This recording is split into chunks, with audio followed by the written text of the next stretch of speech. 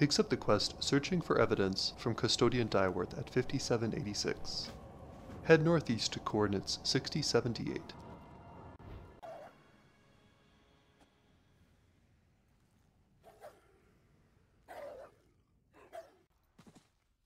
Enter the barn and turn the quest to the necromantic focus.